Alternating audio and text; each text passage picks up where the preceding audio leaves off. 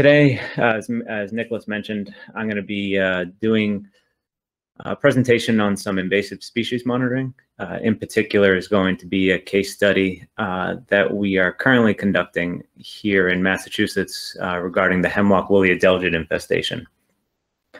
So this is, uh, we just started this back in May, uh, working with some ecologists um, that have informed us about the infestation. And um, we wanted to go ahead and try to leverage some of the developments that we had at uh, Spectral Evolution to be able to potentially aid in the uh, the detection of the hemlock woolly adelgid infestation. So the outline of the presentation will start with uh, a brief uh, introduction of the hemlock woolly adelgid and the ecological impacts of the infestation for those that potentially don't know much about it. And then briefly touch upon some current research, not all of the research that's being conducted to monitor the progression and the impact uh, of, of this particular infestation. And then I'll briefly also touch on some of the challenges in observing um, the hemlock woolly adelgid, followed by what at Spectral Evolution, what we developed to try and um, help in this detection um, of the infestation itself. Uh, and I'm going to present some of the results that we have uh, initially done in the lab um, back in May. And then hopefully, uh, well, I'll be discussing some of the future work that we will be conducting uh, back out at Harvard Forest, Massachusetts. Uh, as I was mentioning a little bit earlier, um, the the hist- some a little bit of the history of the hemlock woolly adelgid. Uh, for those that might not know, uh, it was essentially introduced into the east coast of the United States back in the 1950s, which has been causing widespread mortality of the eastern hemlock trees themselves. Uh, this hemlock woolly adelgid is is a relatively unique species that uh, insect that covers itself with a white woolly substance which acts as a protective coating for the insect. On the right, on the upper right hand side, is kind of a graphic of uh, different kinds of uh, close up, zoomed in photos um, from this article, which kind of shows uh, kind of the woolly substance that surrounds um, the insect, uh, as well as one that's not as potentially not as mature as the one on the left uh, in the middle, and then on the right is a uh, is a male version of the uh, of the woolly adelgid. So as of 2010, the U.S. Forest Service reports that the hemlock woolly adelgid currently infests nearly one half of the native range of hemlock in the east. Um, you can see in the graphic on uh, on the lower right a display from the U.S. Service, uh, U.S. Forest Service that shows counties with infestations as of 2010 in brown, newly infested in yellow, in the native range uh, of hemlocks, uh, all highlighted in green. So I haven't come across an updated map of, of with any new information, but if anybody does have resources on that, please feel free to send them my way. Uh, but I can imagine that uh, more of these green colored regions would be infested by now. And unfortunately, uh, the hemlock woolly adelgid is spreading northward as a result of climate change, warming more of these New England winters and reducing the frequency of uh, these much needed cold snaps. As as cold winters are one of the most important deterrents uh, to the spread of the hemlock woolly adelgid. So some of the ecological impacts of the hemlock woolly adelgid infestations. Uh, studies project that the, the hemlock woolly adelgid infestation will spread into the full range of the hemlock uh, in New England and southern Canada. So essentially, some of those green, the uh, some of those green counties that I displayed uh, in that picture earlier from the U.S. Forest Service, and this has uh, potentially some some extreme implications on eliminating uh, one of the key ecological uh, foundation species in the landscape uh, in the coming decades. So what this means is that New, New, England could potentially have a changing forest environment with the decline of one of their key keystone species, the hemlock tree. A reason uh, is that these trees are very shade tolerant and provide a dense canopy that helps maintain the moisture and moder moderate the forest floor and stream temperatures.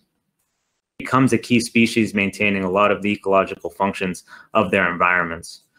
So when these trees are removed from the ecosystem, there are a variety of effects. And some of these could, briefly, some of the ones that I've looked into is that this could, can include increased water temperatures, which can have not negative consequences to biodiversity and some of the health of the environment, such as the watersheds and other fisheries along the way. Um, so now when there is an infesta infestation present on a hemlock tree, there's some very distinct visual characteristics of, of the decline. Uh, while the hemlock woolly adelgid does not directly defoliate the hemlock needles, colonies of the hemlock woolly adelgid bring about uh, a progressive needle loss and branch death by, by draining the hemlocks of their stored sugars. At some research have determined that given the right environmental conditions, such as extreme droughts, the mortality of the hemlocks could be around five to 15 years uh, if infested. Which means that with such a rapid loss of the hemlock tree structure, this can increase uh, rapid decline in ecosystems they serve. And unfortunately, as I mentioned in the previous slide, the hemlock woolly adelgid already infests nearly one half of the native range of the hemlocks in the east. Now, in, term of, uh, in terms of some deterrence for the infestations, there aren't really any large scale strategies that I know of. But again, feel free to let me know afterwards or uh, email me uh, some, some current information or research that you are currently conducting yourself.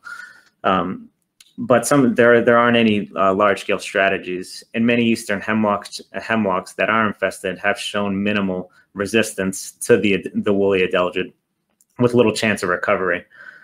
However, at local scales, there have been attempts to provide some chemical treatments, though in natural environments, this isn't, this isn't very uh, practical and extremely costly.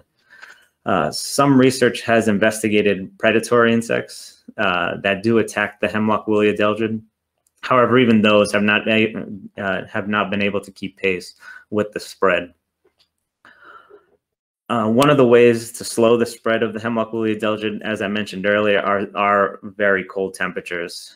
Uh, however, if these regions continue to experience increased temperatures and mild winters, this might not be enough to stop the onward trajectory of the hemlock woolly adelgid.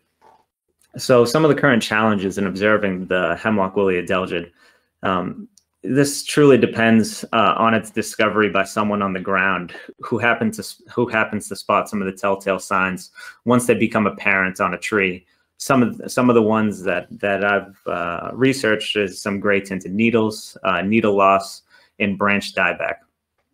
Uh, as I mentioned before, uh, depending on the environmental conditions, as the example is the drought, this could be quite rapid um, and can be can be within less ten less than ten years of uh, of the uh, infestation once it's finally occurred.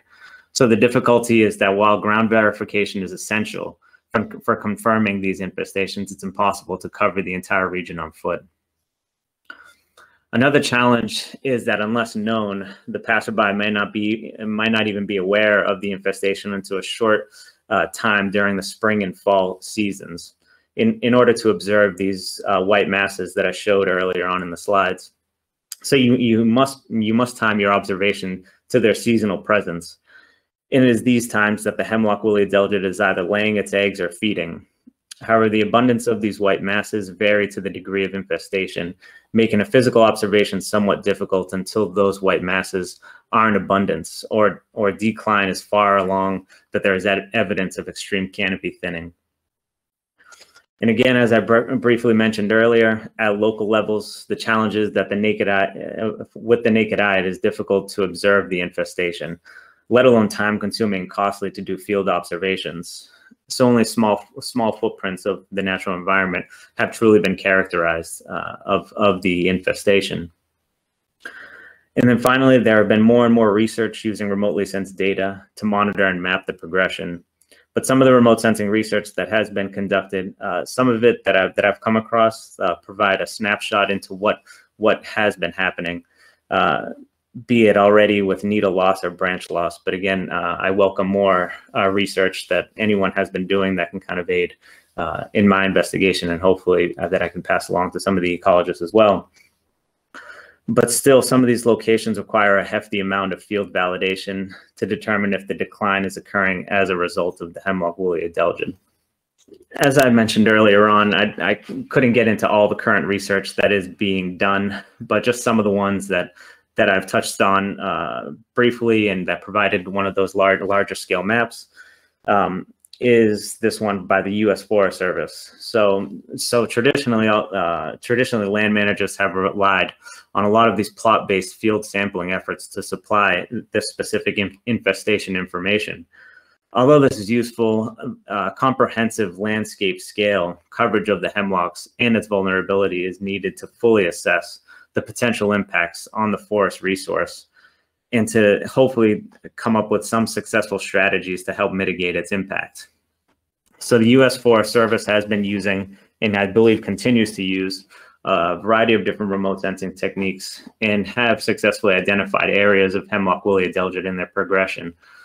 Uh, where they have used te uh, techniques in exploiting some of these physical decline indicators, such as, such, such as some of this gap fractioning, where the needles and the branches begin, begin to disappear, leaving these gaps within the canopy um, and making them sparser than they naturally would be. Another one, a common use was NDVI, uh, which is the, a common vegetation index that is used to understand the vigor of these forest stands. So in this picture on the right is just a map of the cats the Catskills where the Forest Forest Service did some of this work and where you can kind of see they were able to successfully um, identify regions of, of decline within this this footprint. One of the uh, re current research that are uh, that are currently being done is happening here in Massachusetts and what we're leveraging as well. And this is a long-term monitoring uh, site out in Harvard Forest um, where the lead is David Orwig, an ecologist there who has been following this impact for many years. Um, so Harvard Forest, ecolo uh, this ecological site, has been co conducting com comprehensive field observations to monitor that spread. And they have over 100 years of research for a variety of different applications. I'll get into a little bit more detail on this, but I, I encourage anybody to take a look at their website to really um, uh, take a look at some of the, the amazing work that they've been conducting. So at Spectral Evolution, we're currently working, as I mentioned, with these ecologists at, at Harvard Forest, and we have been fortunate enough to, to be able to exploit some of this, uh, some of the resources there. Um, and in turn, we can use some of the develop developments that we've had at Spectral Evolution, which have some of the highest resolution and precise field portable instruments um, and with that, we are hoping to see if there's a way that we could aid these ecologists in the detection of the hemlock woolly, woolly adelgid. We hope to combine some of the data sets from numerous flyover campaigns that have taken place at Harvard Forest and hopefully use this information to develop new insights. So Harvard, uh, the site that we were working in, uh, this area that we chose through the investigation is actually in Petersham, Massachusetts, where Harvard, where Harvard University has set up a long-term ecological monitoring site to do a wide range of ecological research. The Center of Tropical Forest Sciences uh, and the Forest Global uh, Earth Observatory have a plot at Harvard Forest, which is part of an international network of forest sites. It is it's actually a georeference 35 hectare plot that is divided into a grid of 20 meter square quadrats. So uh, uh, David Dave, Dave Orwig, the ecologist that we're working with, actually conducts censuses in this uh, in in this region, uh, where he actually goes throughout this entire plot uh, since 2010 and monitors all of these hemlock trees in all of these plots. Uh, and so, since 2010, in this entire 35 hectare plot, he's found that all of the hemlock trees uh, had a hemlock woolly adelgid infestation uh, in 2012. So he does the census, I believe it's every four years. Uh, and so now he's he's currently conducting another one. And so that's why we're working alongside him uh, and hopefully being able to leverage some of the technology that we have. Um, so this kind of provides us a thorough census of the hemlock decline within a large area. And as I mentioned before, there's that added benefit uh, that we have with multiple aerial remote sensing technologies that have flown over the region in the past years that can provide some uh, some valuable information in enhancing, uh, hopefully, uh, some some detection of the hemlock woolly adelgid. Again, this data is readily available, and I encourage anybody to take a look at their website for uh, data sets that might interest you as well. So in terms of data acquisition, so we went out to the site in May of 2020, 2021 when the when the ecologist informed us of the woolly mass that the woolly masses were now present on the hemlock trees. We gathered uh, samples from a series of infested trees, uh, from moderate to heavily infested, and even a nearby uh, healthy hemlock. I took these samples back to our facility to begin doing the analysis with two and two different instruments. But for the purpose of this analysis, I'll just only focus on uh, one of the instrument data sets. The instrument that was used in the analysis was uh, Spectral Evolution's SR6500, which is shown in the right side photo in yellow. Uh, the instrument uh, is is unique uh, that it is actually the highest uh, resolution field operational spectroradiometer on the market, with a spectral resolution of 1.5 nanometers for the UV vis, and three three nanometers for the SWIR one, and 3.8 for the SWIR two. Uh, this measures 300 and uh, the spectral range is from 350 to 2500 nanometers, measuring every nanometer along the way. Uh, so for taking the measurements, uh, we used our newly designed precision probe. The probe has a one millimeter field of view uh, that allows the user to measure very small targets. Uh, the hemlock needles are very small and make it a challenge to measure an individual needle with just, let's say, a leaf clip or some other fluoro optic but this probe uh, allows for very fine measurements. Uh, so uh, the photos on the right display the setup with the instrument and shows how you can get the precision probe very close uh, to your to your sample to achieve an accurate measurement of the desired material. Um, the unique way this works is that there's an external light providing illumination to the target by being piped through the fiber and onto the target, while another set of fiber cores in the probe allow the energy to return back to the spectrometer. Now, for some of the uh, preliminary assessment on the data that we did collect, uh, here's a scan showing the, the, material, this, the material gathered from the hemlock leaf. Uh, this is just really for a baseline. Um, this was the first time actually using the precision probe in a vegetation application. Uh, because that the needles were so small, we needed something with a very small field of view. And if, if, if anyone has seen a hemlock vegetation, the needles are very small, maybe three millimeters long. Uh, so what I did here is I placed the precision probe directly over over the leaf, uh, over the needle um, that I wanted to sample, shown on the top right hand picture, and acquired the spectra. Looking at the photo, a user would have to be very specific on what they were measuring in case of contaminating the field of view with either maybe the, br- the branch or the twig um, that is also attached to the, to the needle there. So currently we have the probe set up with this fixed mount and it made it easy to kind of swivel around the probe to different tar- uh, to different constituents that we wanted to measure. And then down below is just one of those vegetation scans that probably, hopefully many of you are familiar with, uh, just to kind of showcase the response from using this fluoro optic. Now using the same technique as I did for getting the vegetation spectra, I went ahead and carefully removed the white woolly substance shown in the photo uh, on the top right that was that was present on that sample shown on the upper left. Uh, as mentioned earlier, the presence of a dry white woolly material appear on typically appear on the young twigs of hemlocks when they're heavily infested. So this wool is, is most abundant in the spring uh, when egg masses are present. As they feed, their woolly covering expands, and it kind of resembles the the, the tip of uh, like a cotton swab, um, and kind of very delicate to the touch. This sample that I have here is actually from one of the very heavily infested hemlock trees, uh, which is what which was covered extensively with some with the, much of this woolly substance. Uh, again, this is one of those telltale signs of the infestations themselves. Now looking below there is the, the results of this, uh, the spectra from just the woolly uh, material. So what can be seen from the scan is definitely some distinguishing features pertaining uh, to the spectral fingerprint of the woolly substance. So this is potentially some key information. Uh, so, so some potentially key information is around that 1731 nanometer mark, and roughly the 2351 nanometer mark. And in, in spectroscopy, some of these features are usually an indication of hydro, hydrocarbons.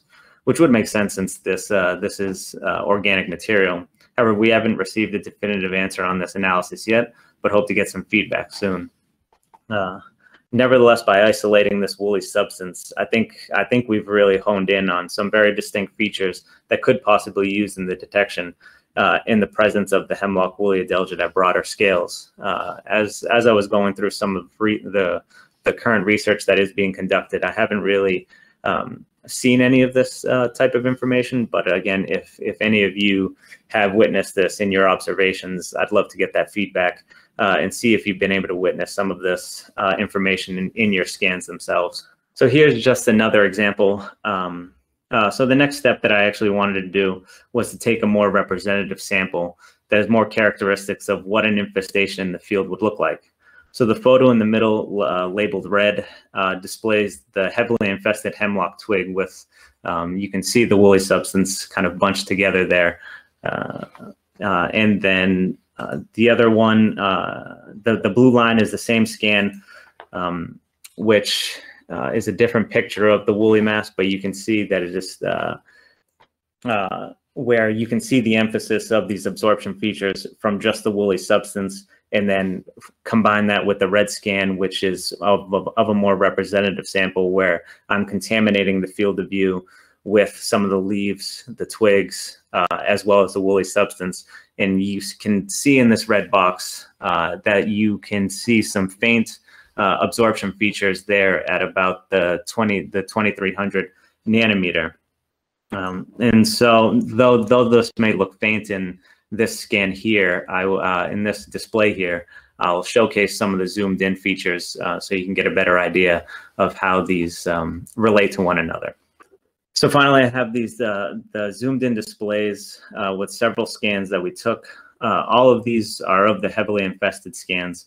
The blue line above is still of the woolly substance, uh, only only at the top, and the rest of the scans below are just several more representative scans uh, some with more of the leaf and some with more of the woolly substances, some targeting uh, more of the branches and the twigs as well. So I just stacked these scans together uh, and zoomed into these portions uh, of, of the spectrum to provide a better visual um, uh, on, on these detailed features. we can still see that distinct absorption characteristics of that woolly substance. Now, these are, as I mentioned before, these are what you what you can consider some mixed field of views, uh, but a more majority of these scans can still identify that spectral fingerprint of the hemlock woolly adelgid. And hopefully, looking at other uh, other spectral data, this can potentially be a key indicator uh, of of the hemlock woolly adelgid. So we hope to leverage this type of information going forward. Um, there's a scan right at the bottom that looks smoother than the others, uh, about a brown scan line there. Uh, this is actually, I, I, I, left in the healthy vegetation uh, so that this does not have any woolly substance um, in this scan. So just to illustrate the differences between the samples that did and did not have hemlock woolly adelgid present. So in conclusion, uh, being able to monitor the hemlock woolly adelgid is key for foresters and ecologists to better understand its presence and impact uh, and utilizing some of this remote sensing data have become uh, an important tool, uh, especially with the variety of different sensors that can be extremely useful in, in detecting the hemlock woolly adelgid. Um, however, you know, there's key features of the hemlock woolly adelgid that are tricky and have to be timed just right. So since there are only appearances that are during the spring and fall seasons, uh, using landscape scale observations at the right time might be able to capture some of this more useful information on the presence of the hemlock woolly adelgid. Uh, I still haven't gone through those data sets that they have um, at Harvard Forest yet to actually time this, but hopefully I can leverage some of that information uh, and see if these, these absorption features are present. Uh, again, using some of these high resolution instruments, this is what I started off with uh, it, I'm I'm going to hopefully leverage and exploit some of these key features at the 1731 nanometer mark in the 2231 nanometer mark, which can provide some key in indications on the actual infestation and potentially the stage, uh, potentially the stages of those infestations as well. Uh, rather than looking at just remotely sensed data at broader scales that can, you know, just highlight some of the uh, the the vigor of the hemlock stands. So on the right is just a picture of David Orwig Uh, he's he's the man that we were working with who who gets up close and personal with these uh, with these trees and uh, really helps us on on indicating the exact infestation level stages. So he's a great resource, uh, and I highly recommend for those that don't that haven't seen his research to to take a look. Um, he has an, an, extensive history in the hemlock woolly, uh, investigating the hemlock woolly adelgid in particular. Uh, so as I mentioned earlier, some of the future work um, that we're going to be conducting. Uh, so the next seasonal exposure, as uh, Dave let us know, uh, was going to be back in the fall. So hopefully we can actually go out there into the field with, with a variety of instruments and conduct more observations with larger fields of views to hopefully observe these absorption features at the 1321 and the 2231 nanometer mark. Uh, this this will be obviously a different experience from just doing this in the lab. So uh, taking taking this to the field will hopefully help uh, validate some of this information. Uh, luckily, at Harvard Forest, uh, they have a hemlock tower that reaches about 30 meters or higher into the canopy, as shown in the picture on the on the right. Uh, the tower extends beyond the, the canopies of the hemlock trees, so we hope to gather some canopy measurements and see about combining that information with some well-timed flyover campaigns in the past or ones that might be conduct, uh, being conducted in the future. So we hope to have some data sets available for either spring or fall to compare with the canopy measurement that we're going to gather in the next uh, few trips. Um, so in conclusion, oh well, uh, in terms of some feedback, um, since a lot of you might be interested in this uh, type of uh, investigation or you're currently conducting your own hemlock woolly adelgid investigations, I'd love to hear back from you. Maybe you can email me uh, if you'd like to see some of more of these data sets. Uh, I could always share that and then we can continue this conversation. Um, potentially you can hopefully help me and Dave on on specific techniques that might be helpful as well going forward in the fall and in the spring uh, to help figure out another uh, uh, other methods in the detection of the hemlock woolly adelgid. So feel free to contact me. My contact is there at the bottom.